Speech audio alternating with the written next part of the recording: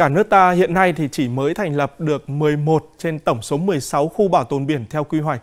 Diện tích vùng biển được bảo tồn là 185.000 ha, chiếm 0,18% diện tích biển tự nhiên.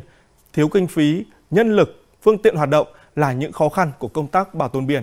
Câu chuyện từ vùng vịnh Nha Trang, nơi vừa xảy ra hiện tượng san hô chết hàng loạt. Cả ngày, cả đêm, hai tàu tuần tra của Ban Quản lý Vịnh Nha Trang túc trực tại khu vực Hòn Mun. Đây là vùng lõi của khu bảo tồn biển Vịnh Nha Trang và cũng là điểm nóng xảy ra tình trạng san hô chết hàng loạt. Hiện tại, các hoạt động dễ gây tổn hại san hô ở Hòn Mun đã được kiểm soát. Cụ thể là dừng hoạt động bơi, lặn biển cũng như bảo vệ nghiêm ngặt hoạt động khai thác. Tuy nhiên, đây là công việc không dễ dàng. Vùng biển rộng, những tàu khai thác thường né tránh tàu tuần tra ngang nhiên vào vùng lõi khu bảo tồn để đánh cá. Người đàn ông này thả lưới ngay ở vị trí không được phép với lý do là không biết vị trí này cấm khai thác.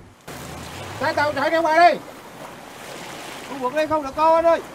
Lực lượng của đơn vị rất mỏng, tàu thuyền phương tiện mà quản lý trên một cái vùng à, biển kẻ như thế 249,6 km vuông thì không thể nào tránh khỏi cái việc người dân lén lút đánh bắt và khai thác.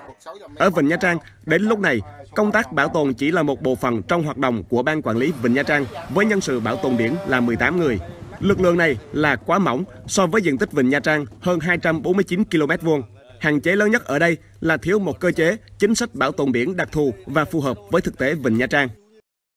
Bảo tồn biển ở đây chưa được thiết lập, chưa được quy định bằng một quyết định của Ủy ban nhân tỉnh mà nó được nằm ở chung trong một cái ban quản lý vịnh để quản lý cái đa dạng sinh học này. Tôi cho đó là một cái mà nó sẽ rất là hạn chế cho cái việc quản lý của mình. Cái đơn vị tổ chức thuộc cấp nào quản lý để cho nó có hiệu lực hiệu quả.